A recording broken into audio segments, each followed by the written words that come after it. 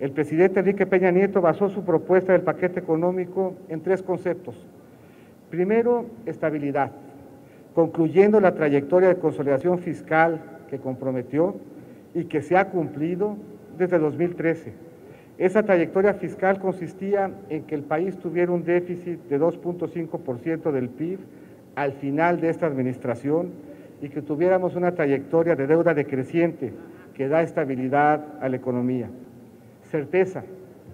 El paquete honra el acuerdo de certidumbre tributaria, por lo que no se incluye ninguna modificación ni ningún impuesto nuevo. La ley de ingresos recoge una estimación prudente del marco económico que da soporte a los ingresos que se obtendrán en 2018 con el régimen fiscal vigente.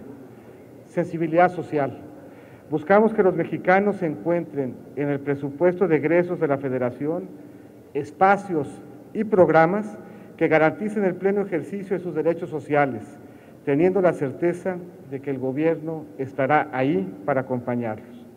En síntesis, este es un paquete responsable, diseñado para dar certeza y estabilidad a los mexicanos que se esfuerzan diariamente por sacar adelante a sus familias.